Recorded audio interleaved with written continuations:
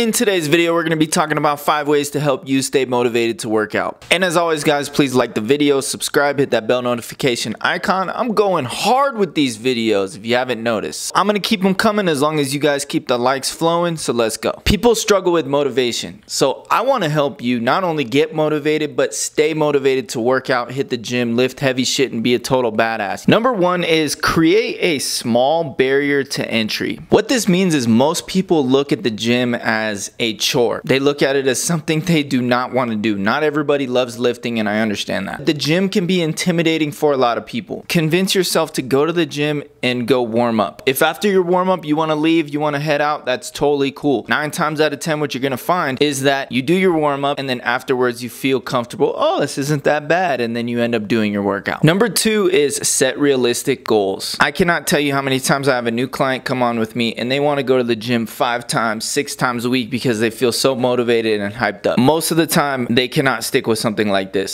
So most of the time, we go to the gym three or four days a week. That's totally sustainable and totally normal. And you'll actually see amazing results training three or four days a week. Why? Because it's realistic. It's what you can adhere to. And fitness is all about what you can be consistent with. It doesn't matter if you go super, super hard for 30 days, if you give up after that, right? So we're trying to get rid of the all or nothing mindset. We're trying to move into a smooth, consistent transition of making fitness a lifestyle. And in order for this to happen, it needs to happen gradually over time. Number three is set performance goals, not just aesthetic goals. A lot of people will set a goal of, I want to lose X pounds by this date, or I want to have a six pack by this date. While I applaud you for having goals, having goals is important. Having aesthetic goals, that is what's called an outcome based goal. And we don't necessarily have as much control on the outcome as we do on the steps and the habits that'll get us to that outcome. So some better goals that I like would be maybe you want to get your first body weight chin up, or maybe you want to pull two times your body weight in the deadlift. Maybe you want to get better hip mobility so you can get deeper into a squat. These are all performance based goals that I think you'll have a better time and more fun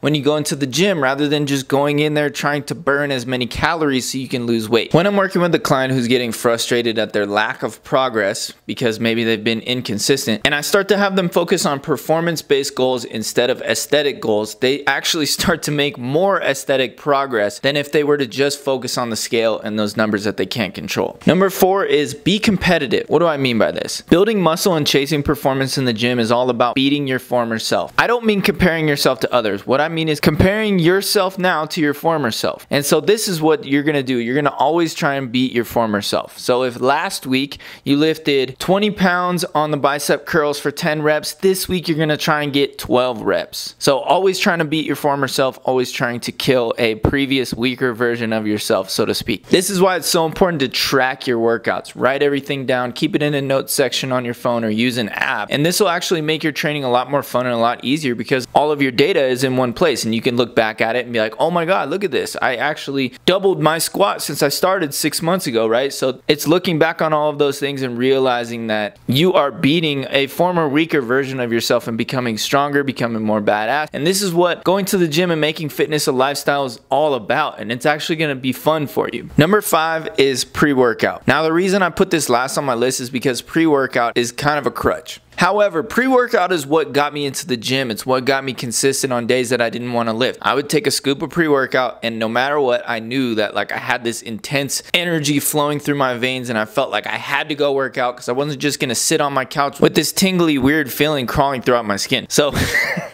I know that doesn't exactly sound appealing, but pre-workout is actually what helped me be consistent at first because I had a hard time getting off my ass and going to the gym. And once I started taking pre-workout and I started making it into a habit, then I kind of weaned myself off of it. Now, if you notice, this pre-workout is actually stim free. So I actually choose to not use stimulants in my pre-workout. And there's a ton of other good stuff that comes along with that for focus, mental clarity, for pumps, for endurance, things like that. So I still use pre-workout. I just don't use the stimulant version of the pre-workout. So if you want to grab some pre-workout, I really recommend Legion Pulse. I'll leave a link down in the description and you can go check that out. That's it for today's video. Hopefully it was enjoyable, educational, and informative. And if it was, please shoot me a like. And more information about coaching and my blog and articles on my website. You can also check out Legion products down below in the description. I'll see you guys in the next video.